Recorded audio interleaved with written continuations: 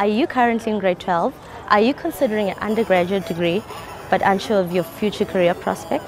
Well, why not secure your future with a ski skill? Did you know there's a global shortage of engineers, engineering technologists and built environment professionals? In 2017, the Faculty of Engineering and the Built Environment at the University of Johannesburg will offer a new three-year BEng Tech degree and a bachelor's degree in construction management, urban regional planning and mine surveying. The following insert will provide more insight into the field of mechanical engineering. Mechanical engineering technology is a career whereby graduates or people who are working in the field are dealing with the design, the manufacturing and the maintenance of machinery. By machinery we mean things like car engines, turbines that are used to generate electricity, Another easy example of a turbine would be a fan that you are using to blow air. And the engineers are designing these components. For instance, in a car engine, the engineers could be designing the actual engine and the components that are associated with it, doing proper calculations, improving efficiency of a motor car, and, and dealing with the suspension of a car, the balancing of the wheels, those are all engineering works that mechanical engineering are dealing with. We can make another example in the Eskom environment where they are generating electricity. They are using machines called turbines. Whether the turbines are driven by water, by steam, or, or by any other source of energy, but mechanical engineers are, are responsible for the designing, the manufacturing as well as for the maintenance of, of those machinery in that environment.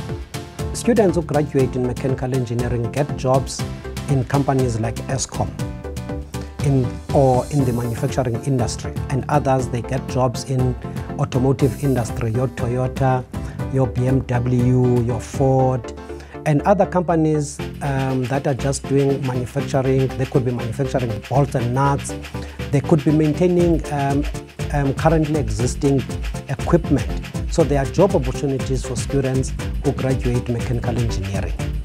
Our department is, is, is privileged to have a cross-sectional uh, uh, model of a, of a complete car, where students can see a cutaway of, of an engine, they can see the pistons moving up and down, they can see the, the, the crankshaft, they can see the wheels moving. This is very, very important to us because it, make, it ensures that our students can see what is happening inside of a very complex machine.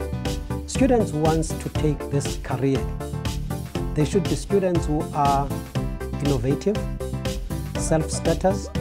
They should be people who are good in mathematics, physical science, because there's a lot of calculations involved.